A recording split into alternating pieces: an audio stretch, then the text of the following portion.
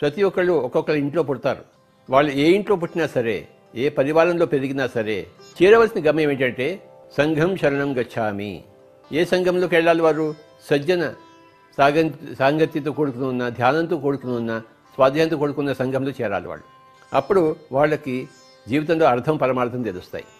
అంటే సజ్జన సాంగత్యం చేయాలి. సజ్జన సాంగత్యం అంటే ఏమిటి? సజ్జనులతో సాంగత్యము.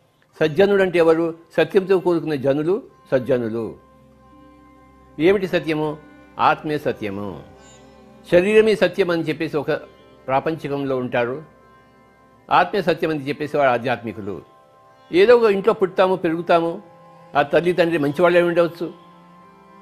కానీ సజ్జనులు కాకుండా ఉండవచ్చు. అంటే సత్యం తెలుసుకోకుండా ఉండవచ్చు ఉండవచ్చు.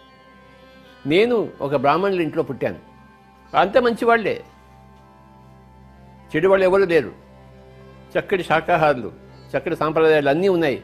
కానీ సజ్జనులు మాత్రం కాదు. అంటే సత్యం తెలుసుకునే జనులు మాత్రం కాదు. శరీరమే సత్యం అనుకుని జీవిస్తున్న వాడు ఉన్నాడు గుళ్ళు ఉన్నాయి పూజలు ఉన్నాయి.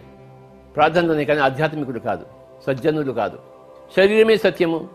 మనం పుడతాము చేస్తాము. ఇందులోనే ఉంటుంది అంత పరిధంతా. అంతేకాని ఆత్మ అనేది ఉంది. ఆత్మ వత్ మనం వస్తాము పోతామని లేదు. పుడతాము చేస్తామని ఉంటుంది వస్తాము పోతామని లేదు. అంటే సజ్జనులు కాదు. కానీ నేను చచ్చి చెడి ఒక సజ్జనుడిని అయ్యాను. అంటే సత్యం తెలుసుకునే జనుడిని అయ్యాను. మా ఇంట్లో మా కుటుంబంలో నేను మొట్టమొదటి సజ్జనుడిని. అందరు మంచివాళ్ళే. కానీ సజ్జనుడు మటుకు నేను ఒకడినే.